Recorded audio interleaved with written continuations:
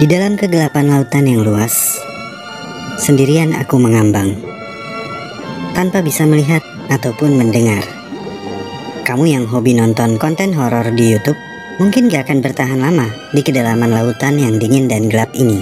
Hello, how are you? I'm under the water. Please help me. Here too much raining. Tapi dari kecil aku sudah mandiri, tanpa kehadiran orang tuaku untuk membantuku tumbuh dan berkembang. Sejak kecil, aku terpaksa melayang terbawa arus laut. Aku berkelana dengan satu tujuan. Menemukan tempat yang tepat untuk mendarat dan memulai hidup baru. Hai, aku adalah Pluteus, seekor larva yang akan tumbuh menjadi ini. Landak laut atau bulu babi. Dan ini adalah kisah hidupku. Melihat bentuk tubuhku, kamu pasti langsung ngeh. Karena kami termasuk jenis hewan laut yang mudah dikenali. Beberapa dari kamu mungkin menyebutku bulu babi. Menurut beberapa kisah dari orang tua di atas generasiku, manusia menyebut kami bulu babi karena secara sekilas, duri kami mirip bulu babi yang jarang-jarang. Meskipun kurang tepat, tapi aku bisa apa? Aku hanya bisa pasrah dan berharap kalau manusia memanggilku bulu babi, setidaknya tahu kalau aku adalah hewan laut yang pastinya hidup di air, bukan di Depok. Ini dia tangga, dia nganggur tapi uangnya banyak. Tapi kalau aku boleh saran, panggil aku landak laut. Karena setidaknya landak juga punya duri. Tapi ya udahlah ya, apalah arti sebuah nama. Aku dan keluargaku termasuk film Echinodermata, kelas Echinoidea. Ada lebih dari 950 spesies landak laut yang berbeda yang hidup di laut dengan berbagai suhu, hangat ataupun dingin. Beberapa spesies lebih suka hidup di perairan dangkal, di terumbu karang, atau di antara hutan rumput laut. Sementara yang lain memilih hidup di dasar laut yang dalam dan berbatu, termasuk di laut Antartika yang dingin membeku.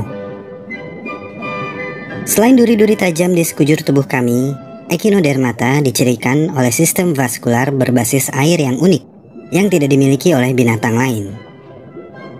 Sistem yang sangat khusus ini memungkinkan kami untuk mengangkut makanan dan air melalui bagian luar tubuh kami. Dan bicara tentang tubuh, tubuh kami dirancang secara khusus untuk bertahan hidup di beberapa lingkungan paling ekstrim di laut. Kami dapat hidup di lautan yang memiliki keadaan yang paling keras sekalipun. Lautan yang berombak, lautan berbatu, lautan membeku, lautan berpolusi, kami bisa hidup tenang di laut mana pun. Itu semua karena kami tidak terlalu pilih-pilih jika menyangkut urusan perut. Kami adalah omnivora yang berarti kami bisa memakan tumbuhan dan binatang. Sumber makanan utama kami adalah alga dari karang. Tetapi beberapa spesies bisa memakan teritip, spons laut, dan bahkan ikan mati. Tergantung tempat tinggal kami dan tergantung apa yang tersedia. Bisa dibilang kami cukup santai untuk urusan makanan. Kebanyakan kelas Echinoidea memiliki jenis mulut khusus yang disebut Aristotle's Lantern atau lentera Aristoteles yang memudahkan kami mengikis organisme dari permukaan tempat mereka hidup. Mulut kami memiliki lima gigi dan setiap gigi memiliki rahang tersendiri sehingga dapat bergerak lebih mudah.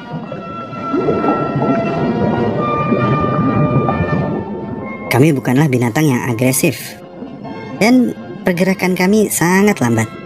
Kami memiliki kaki yang manusia sebut sebagai kaki tabung dan kami punya kaki-kaki tabung ini di seluruh tubuh kami. Tapi kami tidak hanya bergantung kepada kaki tabung ini untuk berjalan. Kami juga terbiasa melatih gigi, mulut, duri, dan bahkan otot di sekitar mulut kami untuk berjalan. Jadi kalau kami terbalik karena sebab apa pun, kami bisa dengan mudah membalikkan tubuh kami. Pada beberapa spesies, di antara duri-duri tajam tersebut, terdapat capit-capit kecil yang disebut pedicellariae, yang biasanya kami gunakan untuk merawat diri, membersihkan diri dari sisa-sisa makanan, atau parasit yang merugikan. Melihat tubuh kami yang penuh dengan duri, kamu pasti mengira kami buta, karena tidak ada mata yang terlihat. Ya, kami mungkin tidak memiliki mata yang terlihat jelas di antara duri-duri kami. Tapi kami masih bisa merespons cahaya. Dan rahasia yang kami simpan rapat-rapat ini akhirnya diketahui oleh para ilmuwan yang telah menemukan bagaimana kami dapat melihat dunia. Jadi sekalian aja ya, aku kasih tahu di sini. Seluruh tubuh landak laut secara teknis adalah mata. Kami memiliki sejumlah gen yang terkait dengan mata. Dan gen-gen ini dapat kami aktifkan di ratusan kaki tabung di antara duri-duri di tubuh kami. Jadi, selain untuk bergerak, kami menggunakan kaki-kaki tabung ini untuk melihat.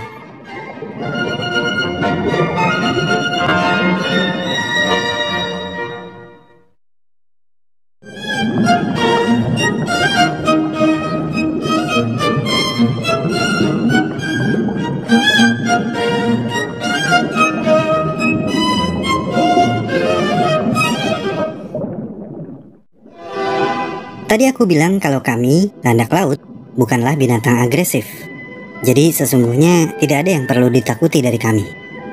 Tapi, kebanyakan manusia benci kami karena kesalahan mereka sendiri. Karena tertusuk duri kami yang tidak sengaja mereka sentuh. Manusia cenderung terluka oleh duri kami saat menyelam atau berenang, dan secara tidak sengaja menyentuhnya.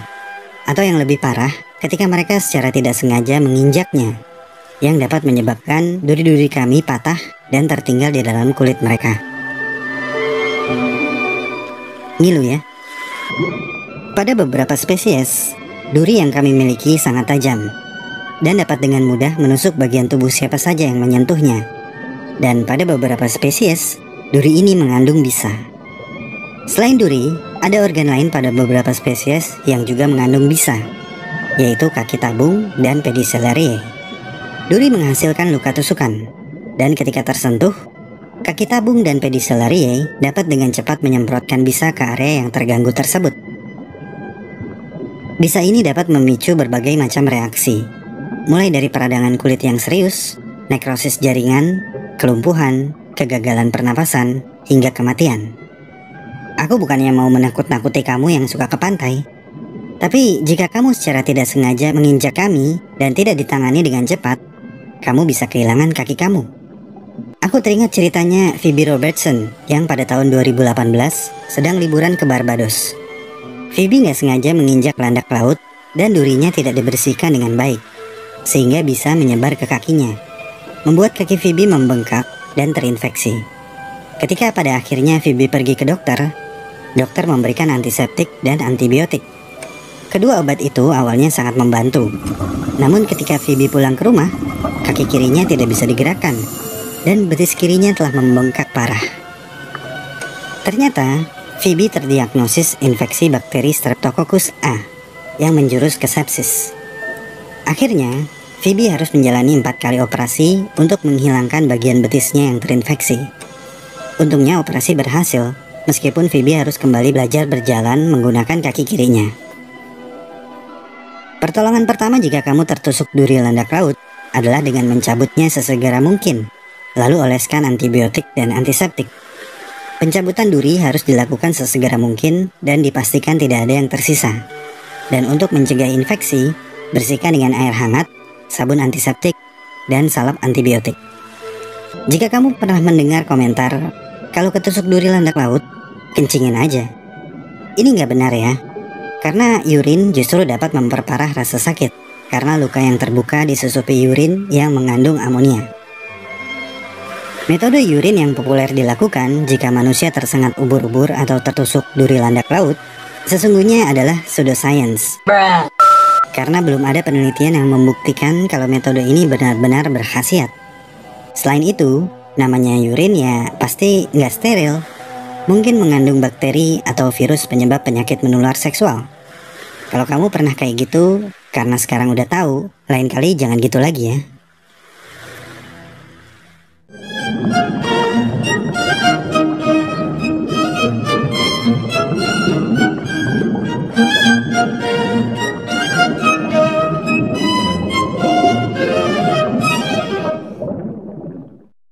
Duri di sekitar tubuh kami memang panjang dan tajam, tapi kami tidak pernah menggunakannya untuk menyerang, hanya untuk perlindungan terhadap pemangsa. Kami berduri supaya bisa santuy menikmati waktu makan tanpa rasa takut. Tapi meskipun demikian, predator tetap aja penasaran dan ingin memakan kami. ada banyak predator yang memilih kami sebagai mangsa lezat. Mulai dari sea otter, burung, ikan, kepiting, serta manusia. Karena apa sih yang gak manusia makan? Menurut manusia, kami, landak laut, sangat terkenal kelezatannya dan kerap dimakan mentah dan sangat populer sebagai bahan sushi di Jepang. Di dunia seafood, kami terkenal dengan nama uni. kan aku beli minyak Pertamina tuh aku pakai lima aku elok kan biar aku nak datang di Pak Wici tuh pakai masker aku aku kan body aku di belakang ini apa kan mantap jiwa kan Amboy, ini memang uni, tapi bukan uni yang ini. Dan banyak manusia yang bilang kalau uni adalah seafood terlezat di seluruh dunia. Uni adalah acquired taste. Acquired taste itu berarti kamu mungkin nggak langsung suka sama rasa uni ketika pertama kali mencobanya. Acquired taste adalah makanan yang ternyata terasa enak setelah beberapa kali kamu mencobanya. Selain lezat, uni memiliki banyak manfaat kesehatan dan bahkan dianggap sebagai afrodisiak, menjadikan uni salah satu seafood yang begitu unik dan paling dicari. Menurut kebanyakan manusia, uni adalah sebagian kecil daging yang dapat dimakan di dalam cangkang landak laut. Tekstur uni sangat lembut. Lihatlah mereka yang memakan uni dengan lahap.